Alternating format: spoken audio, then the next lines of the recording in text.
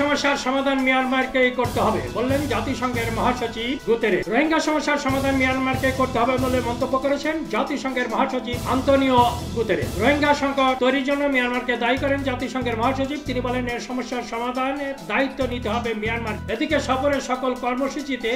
একই সাথে সাথে অংশ নিতে তিন দিনের সফরে এসেছেন বিশ্বব্যাংকের প্রেসিডেন্ট জিম ইয়ং কিম দুই দিনের সফরের প্রধানমন্ত্রীর কার্যালয়ের টেকসই উন্নয়ন লক্ষ্যমাত্রা